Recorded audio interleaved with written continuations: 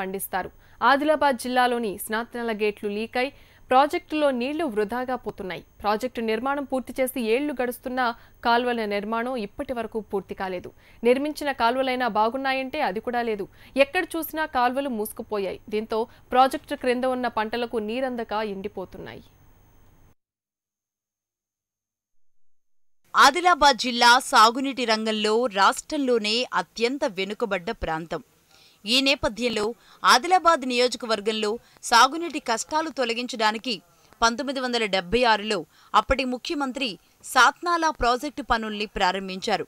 ఈ ప్రాజెక్ట్ ఇరవై ఎనిమిది వేల ఎకరాలకు నీరందించడానికి నిర్మించారు.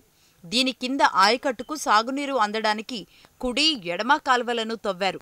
ప్రాజెక్టు పూర్తయి ఏళ్ళు గడుస్తూ ఉన్నా కనీసం ప్రాజెక్టు కింద ఉన్న సాత్నాల గ్రామ పంట పొలాలకు నీరందించడంలో అధికారులు విఫలమయ్యారు.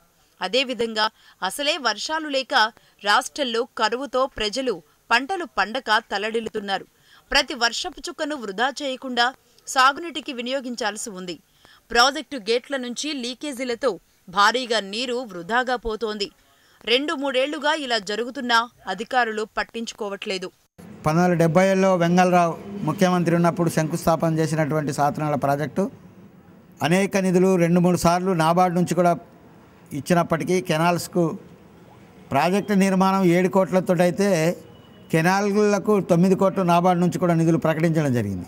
అది ఇప్పటికి కూడా కాలువ చివరల భూములు అనేటువంటి నీళ్ళు అనేటువంటి అంతలేదు వాస్తవంగా ప్రతి సంవత్సరం బడ్జెట్లో కేటాయింపులు చేయాలని చెప్పి చెప్పినప్పటికీ కూడా ఆదిలాబాద్ జిల్లా వెనుకబడ్డ జిల్లా అనేటువంటిది అన్ని వనరులున్న అల్లున్నట్లు శని అన్నట్టు చందంగా ఈ జిల్లా యొక్క పరిస్థితి అనేటువంటిది ఉంది.